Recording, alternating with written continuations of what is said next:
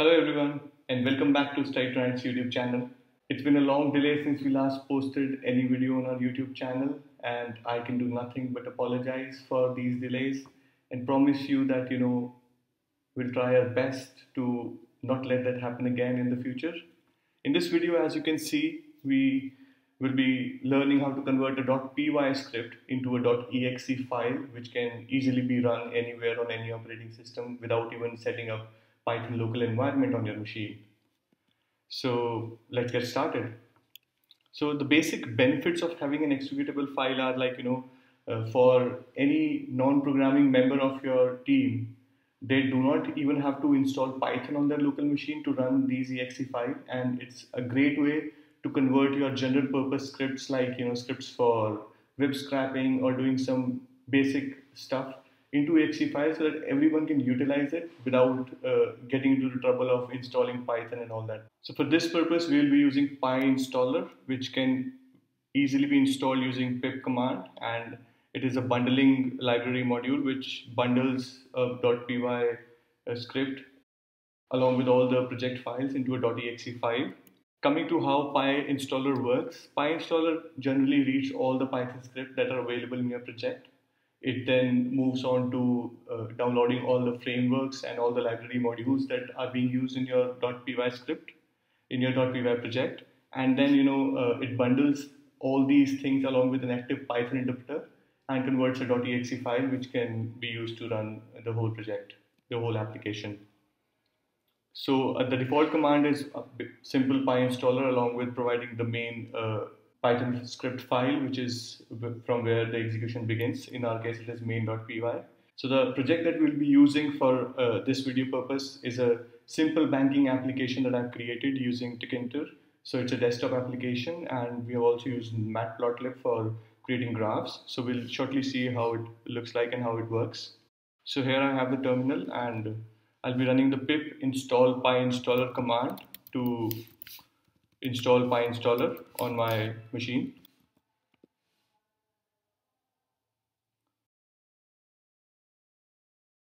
As you can see, it says requirement already satisfied. That's because I already have PyInstaller installed uh, on my machine. So this is the project that we have. It has three Python scripts, one txt file, which is in this project use being used as a database. We are writing the data into the file and we have an icon file which we'll use later on. So I'll be running the basic PyInstaller command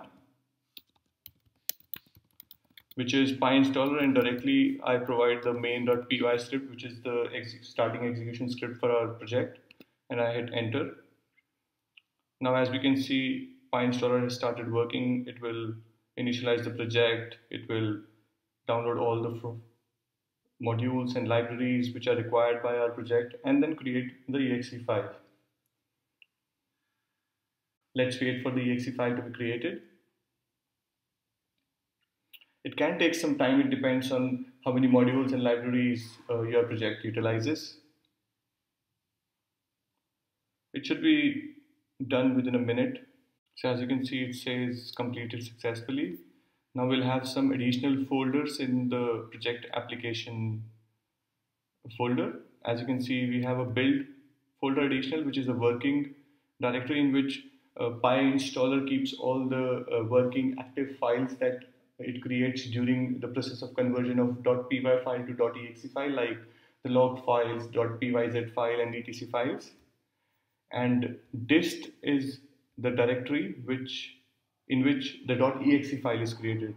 So here we have the main uh, executable. If I double click on it, I'll see a console and the sometimes you know the application uh, bootstrapping takes some time. So as you can see, I cannot see the application as of now, but it will come up. Don't worry. So we'll wait for some time for the application to bootstrap.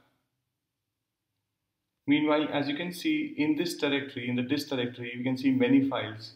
So PyInstaller works in two different settings. One is minus D, which is, uh, you know, PyInstaller command can be run using an additional argument hyphen D, using which, you know, a complete one bundled directory is created in which all the required files are present.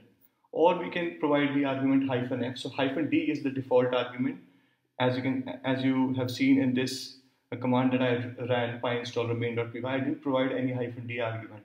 So it's the default argument. So by default, a complete directory, one bundled directory is created in which all the files are there and the main exe file is also present.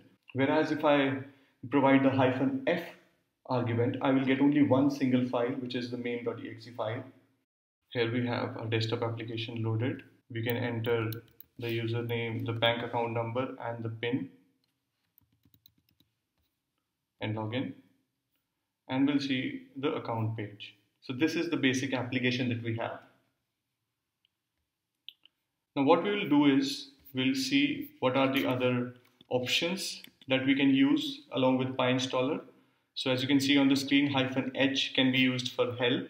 Uh, when we use hyphen h along with PyInstaller command, it shows all the other arguments or the options that we can use with the PyInstaller command. Hyphen d, as I already said, is used for creating a bundled folder, which is also the default setting of PyInstaller. Hyphen f for creating a bundled file, which is not default, so I have mentioned it incorrectly here. So hyphen f is for creating a bundled single file. If you want to provide a custom icon for your uh, .exe file, you can use the hyphen i argument and provide an icon file. So it has to be of format .ico for Windows and for Mac OS it has to be .icns which we will see shortly in the next segment of this video. Hyphen n is used to provide a custom name to your exe file. By default it takes the name of the script that we provide for the conversion. Hyphen hyphen log level can be used to debug the whole process of conversion of .py to .exe. So there are times when you know you can face problems or you can face some error during the conversion of your .py file to .exe. To debug what was the error, you can use hyphen hyphen log level argument and provide debug as the log level. So we'll see this argument as well when, when we run the next command. Apart from this, as you just saw, when we clicked on the main.exe file, we saw a console and then our application was bootstrapped. If we do not want users to see that console coming up, we can use hyphen w. It doesn't show the console window for standard input output when the main exe file is run. Hyphen hyphen clean can be used to clean the cache for PyInstaller. At times, you know, during the downloading of modules and frameworks, there can be some error which can be caused because of uh, a copy of the library already existing in PyInstaller cache. In that case, you can use hyphen hyphen clean command before converting your .py script to .exe. Hyphen v can be used for version hyphen hyphen dist path can be used to change the default output directory, which is dist by default, in which the exe file is created. And hyphen hyphen work path can be used to change the working directory, which is build by default. So let's run the PyInstaller command again using some options to play around and see how it runs.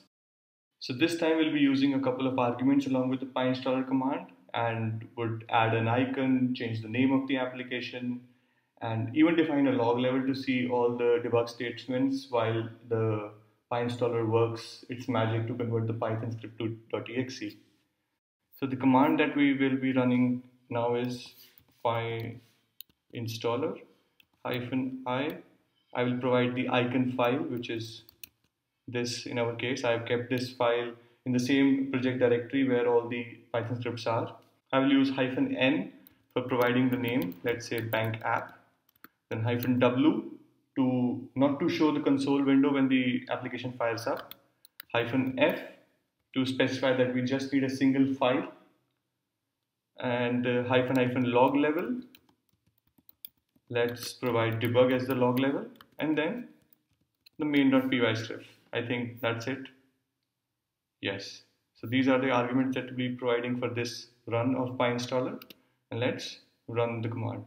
So now you will see more logs on the screen as you can see the logs are running in debug statement. So some additional log statements will be seen during the conversion process, which is good if you're debugging or looking for any error. So this can take some time because the logs will be additional in this case. And it's done. So now when I come back to the project directory, inside the dist, here we see an icon which says bank app and this is our exe file in this case and all I have to do is double click on this to run the application. Isn't it super easy to convert a Python script to an exe file and how cool it is to you know provide a cool icon with an interesting name to your application and just pass on the same file to anyone who wants to run your script. So that's it.